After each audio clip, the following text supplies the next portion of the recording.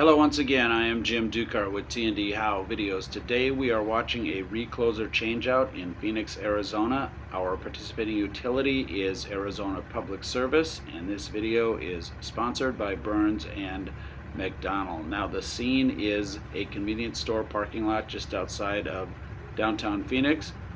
Now we'll start with the pre-job brief and hazard analysis, and then we'll go up and look at the recloser on the pole, the existing recloser. Now what reclosers do is they provide feeder fault isolation, they segment distribution into smaller pieces to limit outages, and they also allow communications with operations center to speed the recognition of a fault and response times.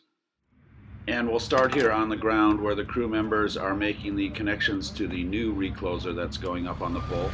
They're just making as many of the connections as they can while on the ground. It limits the time up on the pole to connect it up. And let's listen as they talk a little bit about the equipment itself. Yeah. So our arresters are basically left on the line for equipment protection. It protects the line, customers, equipment from high voltages due to switching, capacitor banks, uh, lighting protection. This is basically just a shunt where this can allow the extra voltage to go to ground. And now let's go back up on the line where you see an amp meter being used to check for amperage on the lines. You're looking for reading a zero. says zero. And you heard that, so now they can disconnect the existing jumpers between the line and the existing recloser, both sides of the pole. Disconnect those jumpers and make a few more cuts to disconnect all the hardware on the pole including a potential transformer which you see here. That's going to come down also. Then put up some line blankets for protection. You see he's going to protect all three wires because we're going to use the boom here to take down the existing recloser. See them secure that with some harnesses so the boom can pull that Looks down. good, right? Hold that. And now you see that existing recloser pulling away from the pole with the boom. And going to swing that around, bring it down to ground. It's going to be set right next to the new recloser that's going to be brought up with the same boom. But first, back up on the pole, you see the old recloser is gone. They have to put in new hardware for the new recloser on the other side of the pole. Notice they've also strengthened this guy wire I think so because too. the I think it's recloser is now going on that side of the pole. And here you see it being picked up by the same boom, bringing that up, and they're going to swing it around to the other side of the pole. Listen to them. Get it situated on the pole. Now attach the hardware, the bolts to hold it in. And with the new recloser in place, we can now start to measure out the new jumpers and cut them to the right length.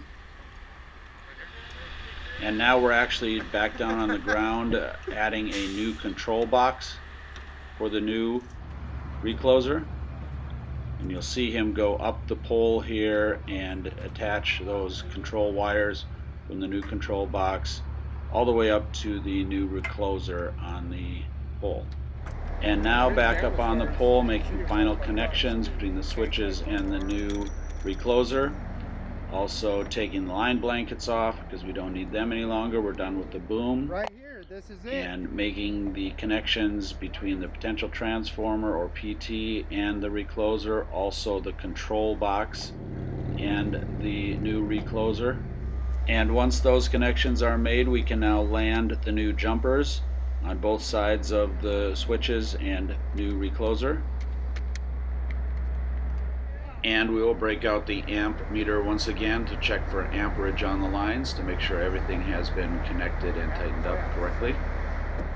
And the final task for today up in the bucket is to open up the bypass.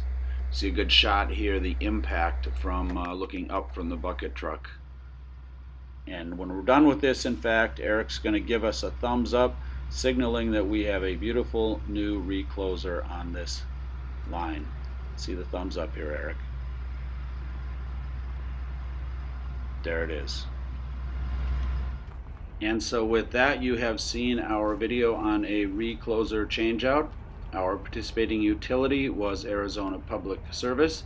This video is sponsored by Burns and McDonnell. Now, as a quick reminder, what reclosers do is they provide feeder fault isolation, they help segment distribution into smaller segments to limit outages, and they provide communications back to the operation center. I am Jim Dukart with T&D How Videos. Thank you as always for watching.